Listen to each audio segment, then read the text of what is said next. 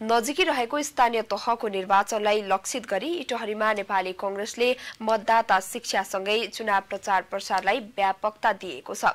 निर्वाचन आउन अब दस दिन मात्र बाँकी छ। मतदाता शिक्षामा निर्वाचन आयोगले यो वर्ष कार्यक्रम तय नगरेपछि कंग्रेसले इटहरीमा चुनाव प्रचार प्रसारकै क्रममा मतदाता शिक्षामा समेत जोड दिएको हो।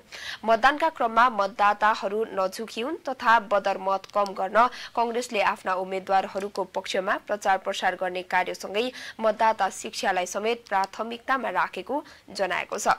दुई हजार चौरात्तर सालको निर्वाचनमा सतहत्तर हजार छ सय सतहत्तर रहेको थियो। यो पटक छब्बिस हजार नौ सय उनपचासजना नयाँ मतदाता थपिएका छन्। मतदाता शिक्षासँगै चुनाव प्रचार प्रसारमा सक्रिय नेपाली कंग्रेस नेतृत्वको गठबन्धनका उम्मेद्वारहरू मत माग्न मतदाताहरूको घर दैलो पुगिरहेका छन्।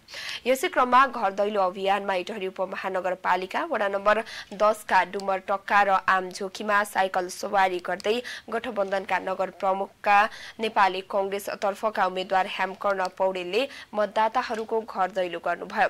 बीसवटा वडा रहेको इटहरी उपमहानगरपालिकामा कुल एक लाख चार हजार छ सय छब्बिस मतदाता छन्।